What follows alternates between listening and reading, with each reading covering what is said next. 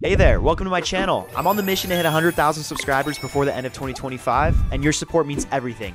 So don't be that person who watches but doesn't subscribe. Thanks for being here, and let's jump right in.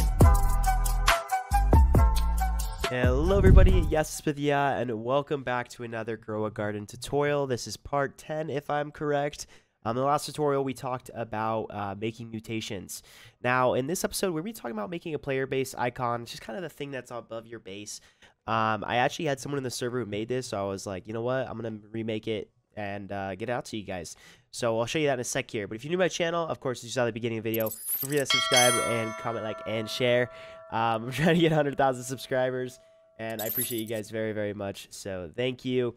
Um, but yeah, so you're just to head into the description. And like I said, all the links are down there. So feel free to check them out. There's a whole on kit. There's the every uh, thing you things you need.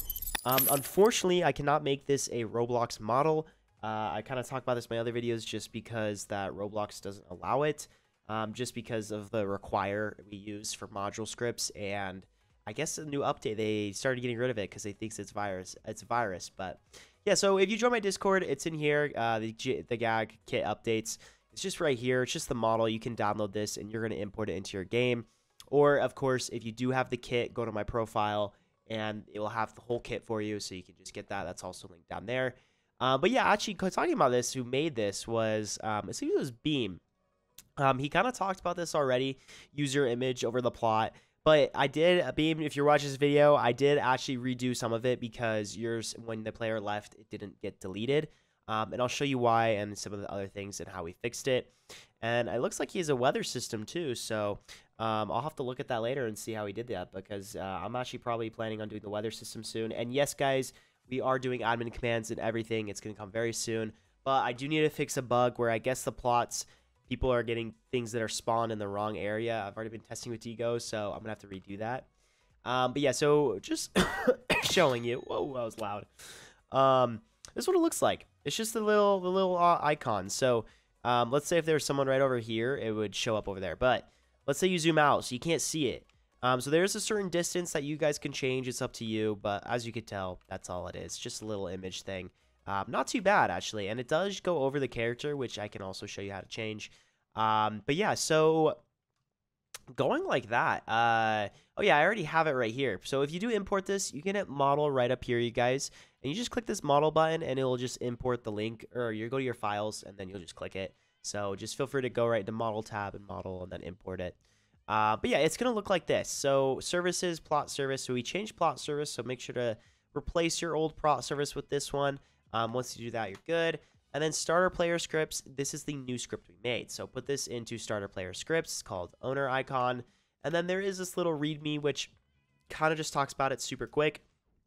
One thing that you guys will have to do is I actually gave you a base plate for it, but you're going to have to make yourself a part that's called owner tag. And you're going to go inside your plots. Honestly, what I did was I just grabbed TV part and I duplicated it, control D and I just dragged it up here, blah, blah, blah, and then I renamed it owner tag. But once you do that, or if you want to grab this right here, this little um, example one, you can do that and put that into your thing, but you got to make sure every single one has one. So um, as you can tell, two, and then it, I'm just clicking F, by the way, to go to these. Um, you basically just go through them and make sure that everything has them. And you can change the heights and everything. You can do Control D, literally drag it over and just put it in the white run. Just make sure it's the right one, you know, just things like that. Um, but yeah, so once you do that, that's the first step. Very simple. Um, we can talk about owner icon, I guess. Um, this is the distance. So if you want to, it's in studs. Um, so if you want to change that to how far you are to see the icon, um, you could do 20 to make it farther or 5 to make it less. I, honestly, 10 is good. 15, maybe 20 is good too.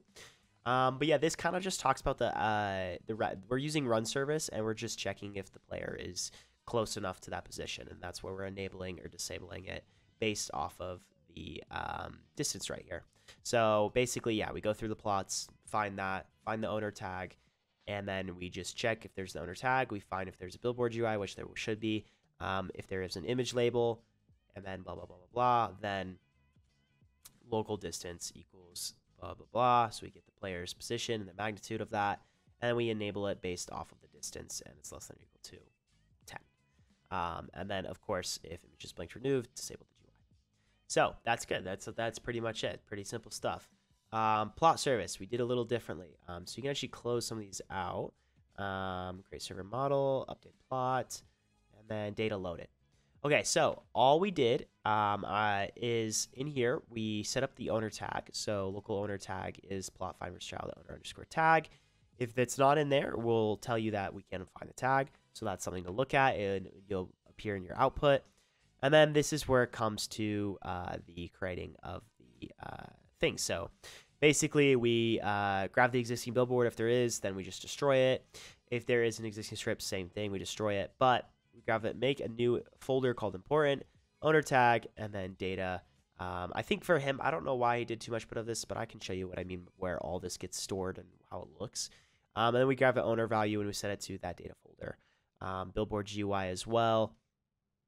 Um, we just have the billboard GUI. This is where we make it. Um, always on top. So this is what I meant. If you want to just change that to false, that will just basically turn it to uh, false. So it's not always on top. Honestly, I sometimes like it on false because it just looks better. Um, and then the image label, and then we just, this is where we make the image label itself. Um, we're just using headshot, the size and everything like that. And then we just get the get user thumbnail async. So we grab the player user ID. We set it to the thumbnail type and size. Then we set the transparency blah, blah, UI corner, um, and we set the parent to GUI. So we set that image label to the GUI. Um, this is what we had in the old stuff. But then, of course, player removed. If we find that they have an owner tag, we just destroy all of the children. Um, and yes, this is where I had to fix that part where when someone left, it wasn't getting destroyed. So now it does. Um, and that's it. The, none of this got changed, so we're good. But yeah, so it's just the player removed and then the player added or, you know, data loaded, basically. Um, and that's how that works. Um, I can actually show you real quick. Um, ah, it's so loud. Um, so if you go to workspace and you go to plots, and I don't know which one am I at. Is this two? Okay. Oh, no, this is one. So owner tag, as you can tell, owner tag, they got the thing there. We have the avatar GUI. This is where it lists and everything. And we have important, which is going to data, and then owner. Um, nothing too crazy though. I mean, I don't know why he has the. Uh, I I probably should check why we even did this, but I mean, either way, is having the uh, thing is user ID and taken, so it doesn't really matter. But either way, yeah. Um, but that's it. So it's just basically that little GUI and um, nothing too crazy for this video. But I think I'm gonna probably get the friend boost, like cash boost down here. Um, the next one, I'm gonna see about that. But yeah, after that, we're just got more bunch, much more tutorials coming out.